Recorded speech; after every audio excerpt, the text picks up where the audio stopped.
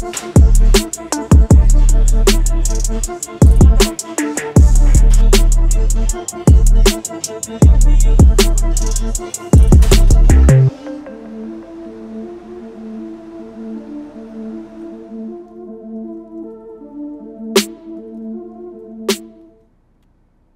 workout meal going down. Um, 200 grams chicken, 200 grams sweet potato. It's a bit annoying because it's not. When I cook my food at home, it's always in raw weight. This is cooked weight, so I need to like work out the difference. But I didn't have any meals prepped. I know, shocking. So I had no choice but to buy this.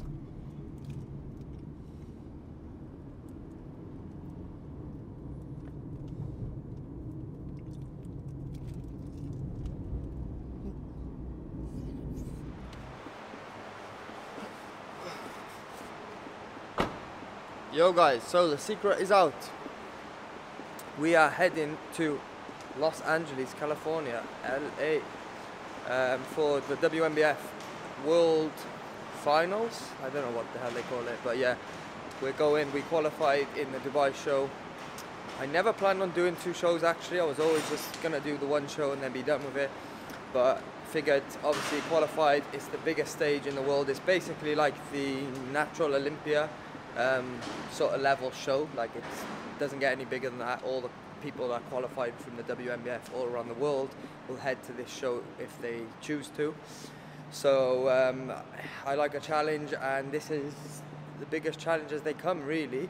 Um, so yeah, I was debating on whether or not to go for a long period of time, many different reasons that I'm not really going to go into depth too much, but the main thing was obviously the financial implications of it, as going to LA is super, super expensive. The flight alone cost me £1,000, which is 4,000 dirhams if you're from Dubai. Um, just going a lift back home. So, yeah, the flight alone was expensive, um, not to mention all the other stuff. And obviously, I'm going to be leaving my business. I'm a full time PT and online coach online coaching I can do while I'm there, but most of my business comes from PT and one-to-one personal training clients in the gym. So I'm going to be away from work for a long period of time, like 10 days I think I'm going. So I fly on Wednesday. Um, the show is on the Saturday. Obviously, we have to get there early to weigh in, do the lie detector test, the tanning, and it, all the other stuff. And I'm going to be jet lagged as LA time is uh, 11 hours behind the time I'm used to in Dubai. So yeah, it's gonna be hard work, but I just want to do it. I figured the the thing that made me book it in the end. I spoke to a few people that I know, and they like said to me, "Oh, you, you have to go. Obviously, you're gonna be going to um, to compete out there, but." They don't understand all the other stuff that goes on behind the scenes, and um, yeah, it's a big commitment. But ultimately, I was always going because, like I said, this is going to be the biggest show of my life. It's only going to be my third ever bodybuilding show. I've competed two previous times. Um, and yeah, I've been dieting hard from, from three weeks out. So when I booked the flights was at the three week mark. And that's when I really got back on my diet because I was eating cheat meals. I mean, I was even drinking vodka um, on a boat party just bef- like two days before I booked my flight. So three weeks out, I was drinking alcohol because, like I said, I was dead set on not going to do this show. I literally, my my friends were going on this boat party and they were inviting me to go, and I said, you know what, like I'm not going to LA. I'm not going to compete. And I went on this boat and I drank probably that night. I got home early hours in the morning, drunk like maybe two bottles of vodka Felt like shit the next day, cheated on my diet, gained 10 pounds of body weight, oh, uh, mostly water weight, obviously. And then I just started feeling like shit the following days after that, feeling like I messed it up and all the rest of it. And then I thought, you know what? I'm just going to go. I'm going to go out there with whatever physique I bring. I'm going to get back on my diet and I'm going to make it happen because I would regret this decision if I didn't go, probably for the rest of my life, or at least until I competed the following year.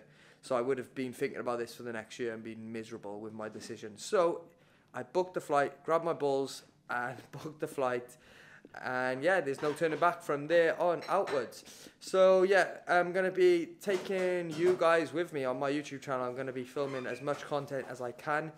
I'm going out there on my own. My girlfriend's not going with me, so I'm gonna hold the camera like this. I'm gonna be taking the tripod, and I'll just try and keep it raw as I possibly can, um, showing you my experience. Gonna probably be a lot of me talking like this video, uh, showing you some training footage, but basically just taking you through what it is like to compete as a natural bodybuilder, amateur, because I'm not a pro yet, yet. Um, so yeah, if you win this show, I think you become a pro, and there is a pro show on the Sunday. But I'm gonna go bring my best physique, do all I can, and the rest is up to the judges, and it's not in my hands. And then at the end of it, I'll gain mad experience. I'll meet some cool people when I'm out there, um, get some good connections, get some good content, get some good photographs, and get to see LA. I've never been to LA before. I've been to America, but never LA. And at the the very very worst, I'm gonna have a good holiday out of it. And also, I'm looking forward to the World Cup and Wales, that's where I'm from, uh, play USA on the Monday, the first game of the World Cup. First time we've qualified in like 65 years, I think it is. So the our very first game is against USA, and I'm going to be in America. So I'll definitely be taking my New Wales shirt with me and going to find somewhere to watch that. Um, all right, I don't want to ramble on too much. Hope this video hasn't been too long.